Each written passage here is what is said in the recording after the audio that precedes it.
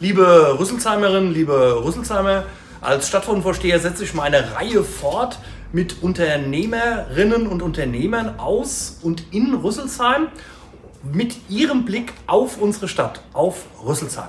Und äh, da bin ich heute im, in der Welt der Bücher bei Kapitel 43 und neben mir steht Sarah Vasquez. Ganz toll, erstmal vielen Dank, dass das hier möglich ist. Und wir wollen uns ein bisschen austauschen über diesen ganz besonderen Blick auf Rüsselsheim aus, ihre, aus deiner Sicht heraus. Ähm, und ich würde gerne damit anfangen, erstmal jenseits des Geschäfts, des Ladens hier, würde mich interessieren, dein Blick auf Rüsselsheim, also der ganz persönliche Blick auf unsere Stadt. Was macht für dich Rüsselsheim aus? Hallo erstmal und vielen Dank, dass ich dabei sein darf. ähm, ja, Rüsselsheim ist meine Heimat. Also mhm. ich bin hier aufgewachsen. Ich bin äh, nicht in Rüsselsheim, sondern in Flörsheim geboren, aber nur. Kann passieren. Ich ja, ist nicht sagen, alles perfekt. War nur kurz drüben und jetzt bin ich hier. und ja, bin hier zur Schule gegangen, habe mhm. hier meine Ausbildung Wo? gemacht. Wo zur Schule? Ähm, in der Albrecht-Dürer Grundschule und okay. dann in der mhm. Humboldt-Schule und dann in der Heinemann-Schule. Mhm. Also einmal alles quer durch, habe dann mein Abi gemacht, genau. Und dann noch Rüsselsheimer Mädchen. Ja? Genau, von Geburt an. Flörsheim geboren, aber gut. Das, genau, äh, sozusagen. Ja. Vielen Dank erstmal für diese Einschätzung. Jetzt würde mich aber mal interessieren, wir sind hier bei Kapitel 43, ähm, der einzige Bücherladen in der Innenstadt mhm. in Rüsselsheim, ja, tolles Angebot, ähm, das kann man schon mal sagen. Kannst du einfach mal erzählen, wie ist es zu diesem Laden gekommen? Den gibt es, glaube ich, seit sieben Jahren. Seit 2015. Seit genau. 2015, ja. ja. Ähm, wie bist du zur Selbstständigkeit gekommen? Du bist Chefin hier, mhm, ja, du bist genau. Unternehmerin. Wie hat sich das ergeben? Du bist ja nicht als Unternehmerin auf die Welt gekommen, sondern es gab irgendwann den Zeitpunkt, wo du gesagt hast, ja, ich wage das, ich mache das jetzt. Kannst du das mal so ein bisschen erzählen, wie sich das ergeben hat? Ja, also ich habe meine Ausbildung bei Bücherhaus Jansen gemacht. Vielen noch bekannt, ja. Genau, mhm. war ja hier früher der große Buchladen in der Innenstadt ja. und ähm, habe da gemerkt, dass mir das sehr viel Spaß macht, weil das Bücherhaus war ja auch nicht nur ein Buchladen. Wir mhm. haben ja auch immer ganz viele Veranstaltungen gemacht, Lesungen, so ja. viel Programm drumherum und das mhm. ist das, was einem Spaß macht als Buchhändler ja. neben dem Bücherverkaufen. Und dann hat äh, das Bücherhaus ja geschlossen, 2013 müsste es gewesen sein. Mhm. Und Aber du hast dort deine Ausbildung gemacht. Genau, ich habe meine Ausbildung mhm. da gemacht und mhm. habe dort auch ähm, dann für vier Jahre noch gearbeitet. Okay. Mhm. Und nachdem der Laden geschlossen war, war ja hier in der, in der Innenstadt oder in Rüsselsheim überhaupt gar keine Buchhandlung mehr, mhm. was einfach sehr schade war. Und als Absolut. Buchhändler träumt man natürlich immer davon, einen eigenen Laden zu haben, mhm. in dem man ähm, ja, schalten und walten kann, seine eigenen Ideen einfach umsetzen kann mhm. und äh, ja, sich so, so verwirklichen kann. Mhm. Und äh, ja, dann haben wir überlegt, also damals mit Melanie Enders zusammen habe ich den Laden gegründet. Die auch bei Janssen gearbeitet Genau, die auch bei Janssen gearbeitet hat und ihre Ausbildung gemacht hat, da haben wir uns kennengelernt. Ähm, haben wir gedacht, da müssen wir was tun. Also es kann nicht sein, dass so, so eine schöne Stadt wie Rüsselsheim keinen Buchladen mehr hat.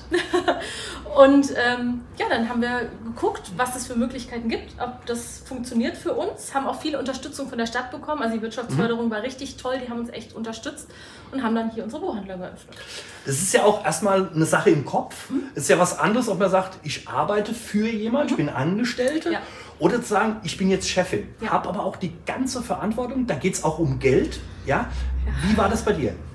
Ja, also ich glaube, man, wenn man sich selbstständig macht, dann hat man nicht auf dem Schirm, was alles noch mit dranhängt. Das ist, ist ja noch besser so? Ja, manchmal denke ich das auch so, der, der ganze Bürokram und das mhm. alles ist, äh, ja, das ist der nicht so schöne Teil des ja. Berufes. Mhm. Ähm, und das Geld war auch so eine Sache. Also man äh, muss natürlich auch einen Kredit aufnehmen. Man muss investieren, ja. Man muss investieren, genau, auch nicht so kleine Summen. Ähm, und es war nicht so einfach, wirklich den Kredit auch genehmigt zu bekommen. Wir haben äh, bei Rüsselsheimer Banken angefragt und haben dann als Antwort bekommen, ja, ihr habt ein wunderbares Konzept, das ist ganz, ganz toll, aber in der Stadt wie Rüsselsheim können wir euch keinen Kredit geben. Das ist mal eine interessante Mitteilung. Genau, also da müssen äh, einige mal in sich gehen. Genau, ich, also ja? wir haben, weil man sieht ja, es funktioniert. Genau, ja? wir, haben, wir haben wirklich böse geschluckt, haben okay. auch äh, eine, eine, Bank gefunden, die uns dann den Kredit genehmigt Schön. hat. Sind jetzt trotzdem bei Rüsselsheimer Banken mit unseren Konten.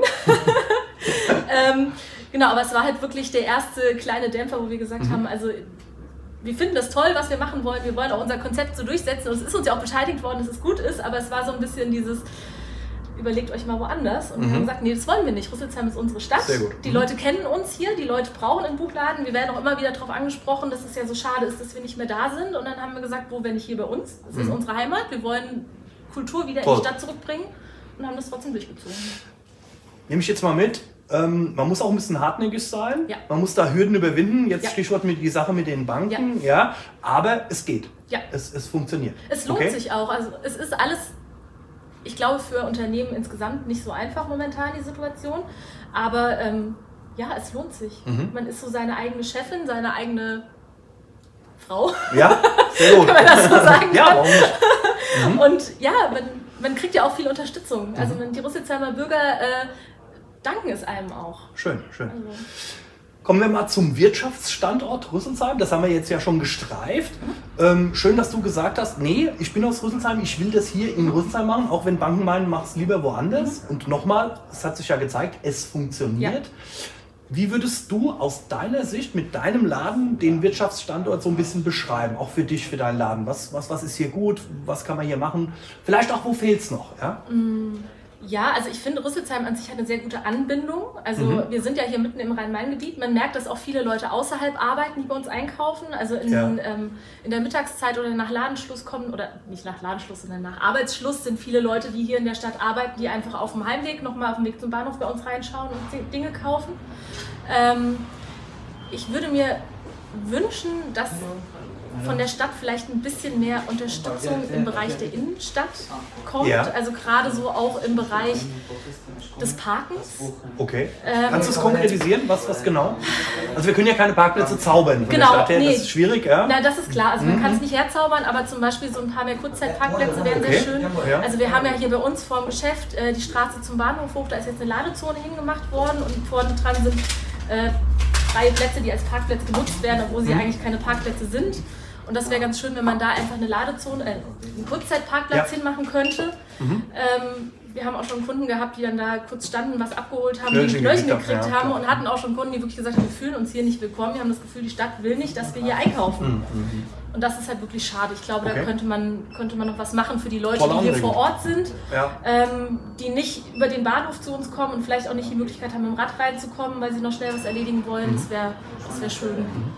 Jetzt so ein Unternehmen, da ist man ja nicht alleine auf der Welt. Es gibt auf der einen Seite die Kunden, dann gibt es aber auch Kooperation. Du hast es angedeutet, Janssen hat früher auch Veranstaltungen gemacht, viel drumherum, hat mit anderen Institutionen zusammengearbeitet.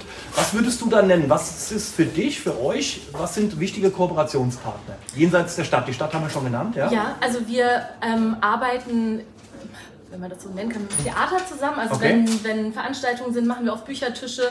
Wir haben Kooperationen mit dem Rind, also wir machen Büchertische, mhm. wenn die Lesungen machen. Wir haben auch schon eine Lesung im Rind gemacht. Das okay. ist natürlich super. Die haben einfach die Technik da, die haben die Bühne, die haben die Infrastruktur sozusagen. Das ist natürlich toll für große Lesungen. Ja. Ähm, wir machen ähm, viel, zum Beispiel mit der Kinderuni zusammen. Ähm, wir versuchen auch mit Schulen und Kitas zusammenzuarbeiten ähm, mit, sei es mit Büchertischen oder Buchausstellungen. Ähm, wir beliefern die Schulen mit Schulbüchern. Mhm. Ähm, genau, sowas ist für uns ganz wichtig. Oder auch ja. mit, mit äh, den Senioren. Wohnanlagen, ja. ähm, wo wir ab und zu mal Buchvorstellungen machen. Genau einfach vor Ort, wo die Leute vielleicht nicht mehr die Möglichkeit haben, zu Lesungen zu kommen, dass wir dann dahin gehen. Und das ist ja tolle Kooperation, weil das nutzt denen, ähm, die haben ein Angebot für die Bewohner genau. und euch nutzt es auch. So genau. soll es ja auch sein, dass der eine sagt, auch das Buch will ich mir dann doch noch ja. mal kaufen. Ja, ganz genau. klar, ganz klar. Ja. Okay, super. Jetzt gibt es ja immer die berühmten weichen Standortfaktoren. Ja? Ist ja jetzt vielleicht für einen Bücherladen nicht so ganz das große Thema, aber du hast es auch im Prinzip schon äh, angeschnitten mit Theater und sowas. Kannst du das vielleicht noch mal ein bisschen beschreiben, so dieses Umfeld für so ein Unternehmen wie ihr seid, wie du es hast hier? Ja? Also ich finde, dass Rüsselsheim einfach kulturell unheimlich viel zu bieten hat. Mhm. Ähm, wirklich den Kultursommer. Es gibt ja die, ähm, die Filmvorführung im Opel Altwerk. Es gibt den, den Kunsthandwerkermarkt. Das Theater macht unheimlich viel. Das Museum ist sehr aktiv. Die haben ja auch ganz viele Ausstellungen und Mitmachaktionen und so. Und das ist natürlich für uns super. Also mhm. wenn man dann wirklich sieht, es gibt ein großes, breites Angebot, es spricht viele Leute kulturell auch an ähm, und das ist für uns natürlich einfach klasse, dass mhm. es sowas hier gibt. Mhm. Ähm, daran nochmal anknüpfend, auch nochmal einen Schritt zurück. Ich finde es interessant, so deine berufliche Biografie, wie du hier zur Selbstständigkeit gekommen bist.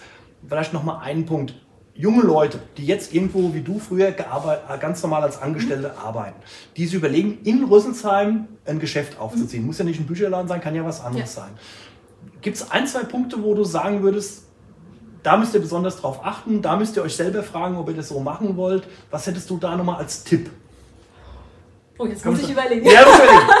Können wir auch zurückstellen, ist überhaupt keine Frage. Ähm, ist jetzt auch ein bisschen sehr spontan, ist mir einfach jetzt nochmal eingefallen. Ja? Nee, also, also, also, eins war immer hartnäckig sein, auch wenn mhm. mal was nicht klappt. Genau, das habe ich so mitgenommen. Ja. Vor allen Dingen auch ähm, wenn ich jetzt sage, um Hilfe bitten, ist das mhm. falsche Wort, aber die Stadt bietet unheimlich viel für Gründer an. Also es ja. gibt ganz viele Möglichkeiten, sich von der Wirtschaftsförderung beraten zu lassen. Nutzen, gibt, nutzen, nutzen. Ja? Genau, es mhm. gibt Möglichkeiten, diese, diese Expertenveranstaltungen, mhm. wo wirklich Leute aus der Wirtschaft auch ihr Wissen weitergeben können. Das, das ist einfach super. Ja. Und sich nicht entmutigen lassen, wenn man mal einen kleinen Rückschlag hat. Okay. Weil es lohnt sich schon in der Stadt, es gibt sehr viele Möglichkeiten. Ich glaube, es wird auch mehr passieren in der Stadt in der nächsten Zeit und da lohnt es sich auch wirklich, hier was aufzuziehen und zu gucken, wo man sich vernetzen kann, wo man kooperieren kann mit anderen und das mhm ja.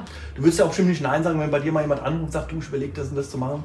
Kannst du mir einen Tipp geben? Ja, ja. super. Ah, genau. okay. Ja, vor allen Dingen, es war ja auch für uns schön, also wenn wir ja. wirklich bei jemand anderem einfach mal anklopfen und nachfragen können. Ja. Und ich finde, so muss man sich halt einfach in der Stadt helfen. Und dafür ist der Gewerbeverein ja auch wirklich wunderbar. Die uralte Technik des Fragens hilft ja manchmal. Genau. Ja. Jetzt äh, kommen wir schon zum Ende langsam. Mich würde noch mal eins von dir interessieren.